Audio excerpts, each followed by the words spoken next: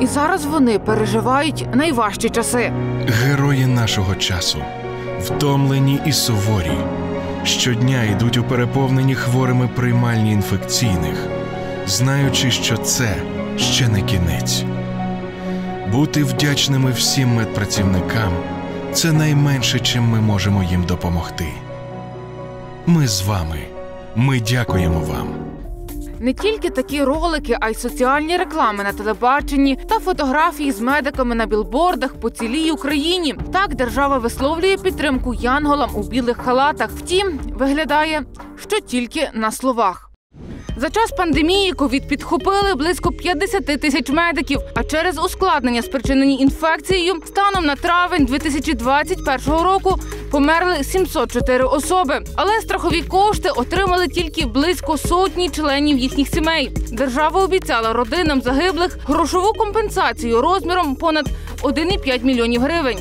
Самим е, закладом охорони здоров'я має бути е, виданий так званий розслідувальний акт, е, де мало би бути чітко зазначено, що саме під час виконання своїх посадових обов'язків е, е, особа захворіла на COVID-19. І якраз цей документ найчастіше є перешкодою для виплат, адже складно довести, що медик інфікувався саме на роботі. І навіть маючи підтвердження на родину, яка і так втратила рідного, чекають ще 9 кіл пекла, аби отримати обіцяну компенсацію. Ця історія сколихнула Черкаси. Торік, у червні, хірург комунальної поліклініки Олег Гайда помер від ускладнень, спричинених ковідом. Три спеціальні комісії підтвердили, що чоловік інфікувався на роботі. Розповідає син, теж хірург Ігор Гайда. Втім, Черкаське управління фонду соцстрахування кошти виплачувати не поспішає. Фонд соціального страхування подав до суду на рішення комісії держпраці, так як вони вважають, що комісія держпраці в складі там дев'яти осіб всі некомпетентні і нерозумні для того, щоб оскаржити акт, який складений був, е, в якому вказано конкретно причинно-наслідковий зв'язок між зараженням батька і смертю. Судова тяганина тривала півроку, бо ж, мовляв, хірург у поліклініці не міг заразитись від своїх пацієнтів. Фонд соціального страхування сказав, що до лікаря не е, може зайти лише пацієнт, який записаний, ніхто інший не може зайти. Ну вони так собі вважають. Хоча представниця фонду під час першого розслідування вона навіть не забажала зайти в приміщення поліклініки. Так як вона сказала, я боюсь навіть туди за двері зайти. Після смерті батька Ігор провів власне розслідування. В нас під час суда знайшлося 12 е, пацієнтів, які самі побачили по телебаченню, в Фейсбуці, і самі зв'язалися з нами, з моїм адвокатом, е, і сказали: слухайте, так ми ж були у Олега Михайловича в червні, але ми не здавали тоді тести. Але в нас були симптоми подібні до ковіда. Зрештою, цьогоріч у квітні Феміда рішення комісії назвала дійсним. Фонд соцстрахування програв позов і тепер зобов'язаний виплатити кошти дружині Олега Гайде. Але наразі вона нічого не отримала. А от родичі львівської лікарки анестезіологині Ірини Федоришин і досі борються за свої виплати. Майже рік тому, у 64, вона померла від ковіду. Жінка 37 років пропрацювала у Львівській обласній клінічній лікарні. У розпал пандемії вона одна з перших кинулася надавати медичну допомогу ковідним хворим. Доказано, що вона заразилася на роботі, проведено розслідування.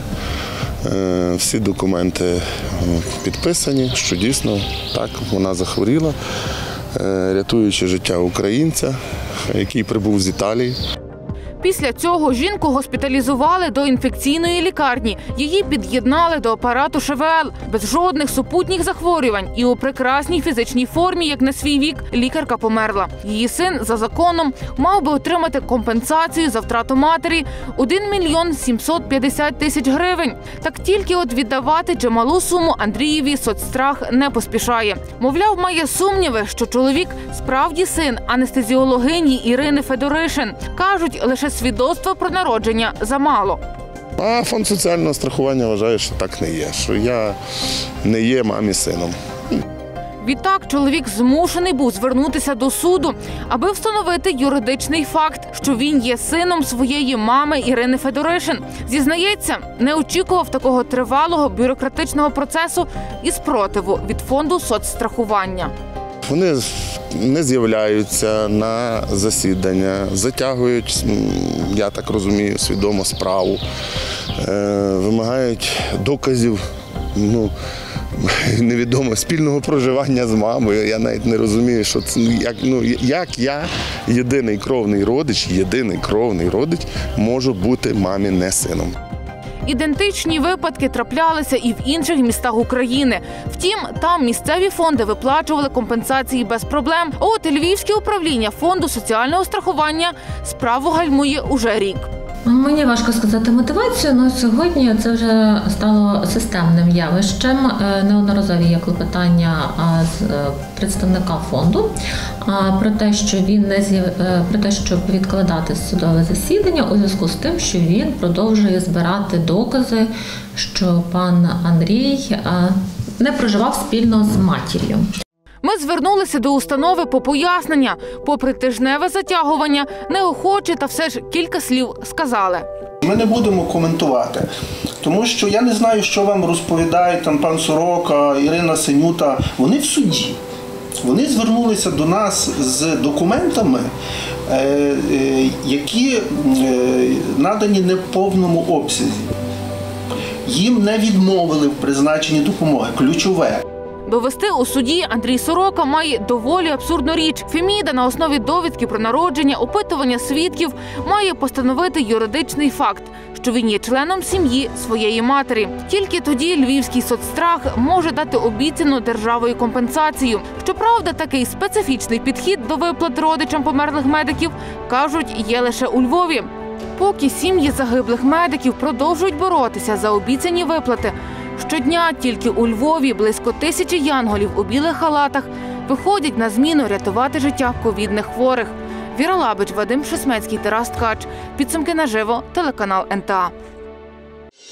Прем'єра на телеканалі НТА. Підсумки наживо. Усе найголовніше за тиждень.